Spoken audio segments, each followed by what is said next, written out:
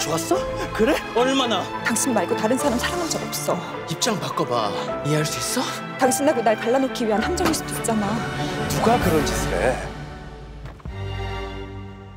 이게 다 못 배운 티 내는 거다. 제가 어떻게 해야 어머님 마음에 드실까요?